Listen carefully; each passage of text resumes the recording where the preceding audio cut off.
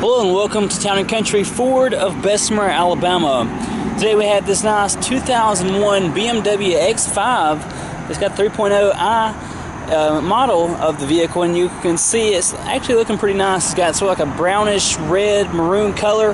Uh, looking good for the most part. This is, of course, an as-is vehicle. It's got about 156,000 miles on it, so you will see the normal kind of stuff. Just some minor stuff like a spot there, maybe a spot here and there, just that kind of thing around the vehicle. But you can see it's got the dual exhaust back there, inline six, three-liter engine, and you can see you can actually uh, lift this up, kind of fold this down, sort of like a tailgate kind of deal and that'll allow you to be able to like tailgate in the vehicle, have some fun in it, and that kind of thing. And you can see, looking back on the back storage area, you got pretty nice space there. You can actually fold down your little tonneau cover right there, and that'll allow you to cover up your load. Or you can actually fold down your seat, and that'll allow you to have even more space there. You can see rear wiper, rear defroster there. And looking down the side, no major dings, dents, anything like that. But you will see some, like I said, some scratches, uh, maybe a spot that needs to be touched up and you do have the cargo rack up top.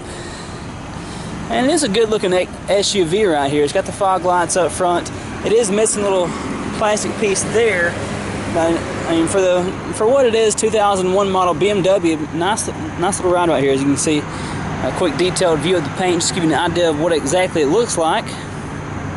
Hopefully the camera is showing it up.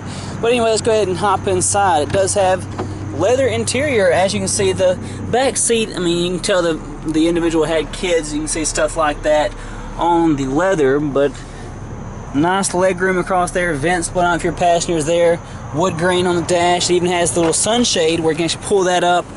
If it's sitting getting if the sun's beaming down on your kids you can do that easily. So as we come up front power windows mirrors and locks power sliding seats along with three memory seat options there. You can see there's your front two seats And it does have the, the power adjustable steering wheel. You can actually extend it out, extend it down, whichever way you want to do it.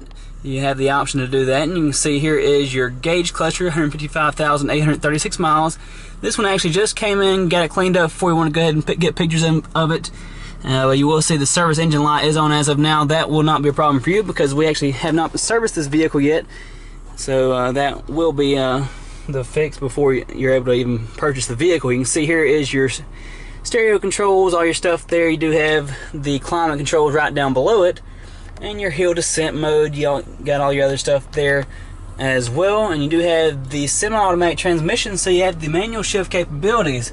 On the steering wheel, you have your stereo controls there, your cruise control over here, and basically there is your interior. You do have the remote locks right there, and up top, also a sunroof in the vehicle. So it is a nice model. Of course, it is a BMW, an upper end SUV. So let's go ahead and check out this engine. You can see even leather in the uh, door panels there. Really nice ride. So this is your inline six-cylinder engine putting out nice power. And I can't believe I forgot to mention, this is actually an all-wheel drive SUV as well. So uh, traction is not an issue in this ride right here.